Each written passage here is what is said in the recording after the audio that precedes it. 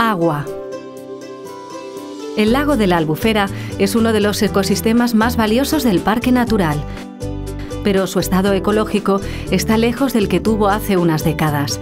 Hasta los años 60, sus aguas dulces eran transparentes y en ellas vivía una rica y variada vegetación y fauna acuática. Boro, pescador y vecino del Palmar, recuerda con nostalgia la calidad de unas aguas de las que incluso llegó a beber.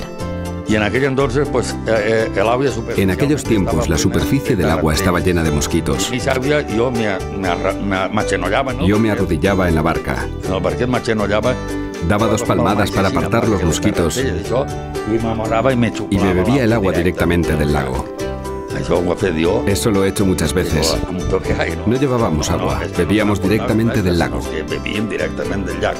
El crecimiento urbano, agrícola e industrial de Valencia y las poblaciones cercanas provocó a principios de los años 70 del siglo pasado una degradación muy fuerte de la calidad del agua de la albufera. Desaparecieron las plantas acuáticas y la mayor parte de peces, moluscos, insectos acuáticos y pequeños mamíferos. La falta de alimento alejó también a las aves, cuyas poblaciones se vieron reducidas drásticamente.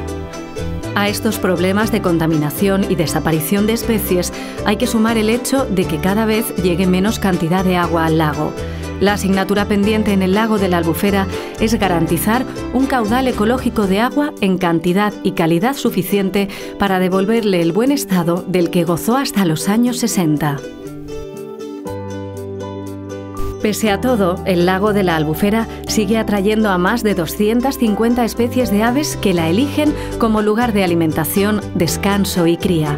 A nivel internacional, la albufera está reconocida como una de las zonas húmedas más importantes del Mediterráneo, como lo avala su declaración como zona de especial protección para las aves.